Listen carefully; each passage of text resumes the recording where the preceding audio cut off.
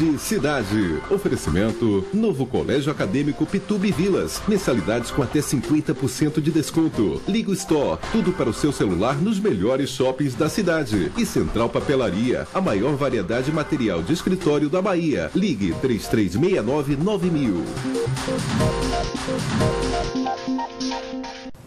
Poluição e exposição prolongada ao ar-condicionado podem provocar irritação nos olhos. Muita gente recorre ao uso de colírio sem receita médica, o que nem sempre é seguro. Esse é o tema do quadro Alô Doutor de hoje.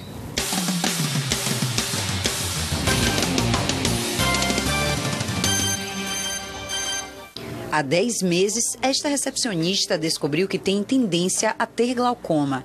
Ela foi ao médico e, depois disso, começou a usar um colírio para tentar prevenir a doença.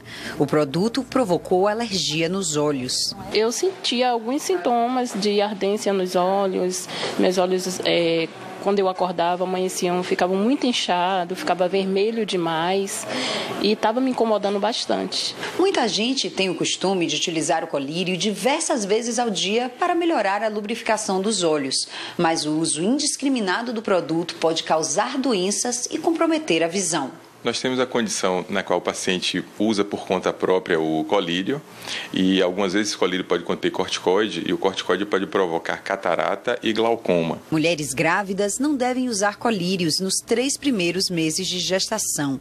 Também é necessário guardar a embalagem de maneira adequada para preservar as características. Se houver secreção nos olhos, eles devem ser limpos antes de aplicar a medicação.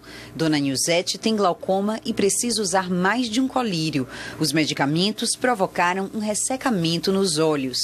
Dava dores, entendeu? No fundo do olho, eu tinha que piscar várias vezes, várias vezes para poder é, lubrificar os olhos. Com a chegada do inverno, os olhos podem ficar mais ressecados. O ar seco tende a provocar uma diminuição no número de lágrimas, mas é necessário procurar um médico antes de começar a utilizar um colírio. É muito importante que o paciente tenha o seu médico oftalmologista e sempre utilize as medicações, por mais simples que possa parecer, com a prescrição médica.